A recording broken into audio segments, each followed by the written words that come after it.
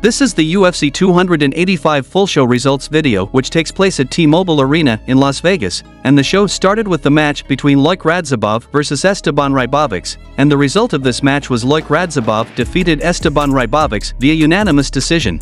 The next match happened between Farid Basharat versus Damon Blackshear, and the result of this match was Farid Basharat defeated Damon Blackshear via unanimous decision. The next match happened between Jessica Penne versus Tabatha Ricci, and the result of this match was Tabatha Ricci defeated Jessica Penne via submission with the armbar in round 2.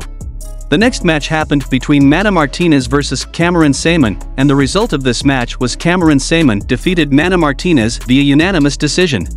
The next match happened between Ian Garry versus Song Kenan, and the result of this match was Ian Garry defeated Song Kenan via TKO with the punches in round 3. The next match happened between Marc-Andre Barriault versus Julian Marquez, and the result of this match was Marc-Andre Barriault defeated Julian Marquez via TKO with the punches in round 2. The next match happened between Viviane Araujo versus Amanda Ribas, and the result of this match was Amanda Ribas defeated Viviane Araujo via unanimous decision.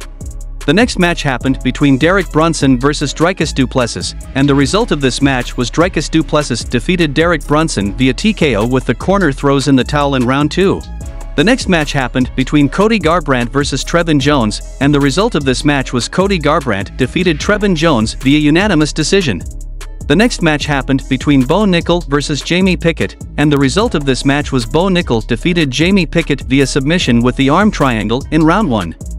The next match happened between Mateusz Gamrot versus Jalin Turner, and the result of this match was Mateusz Gamrot defeated Jalin Turner via split decision.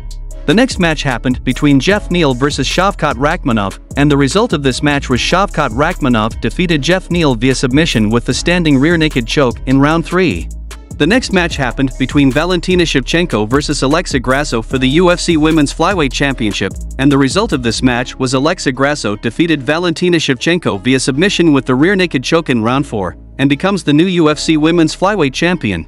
In the main event of the show, we saw a match between Jon Jones versus Ciryl Gane for the UFC Heavyweight Championship, and the result of this match was Jon Jones defeated Ciryl Gane by submission with the guillotine choke in round 1 to win the vacant heavyweight title.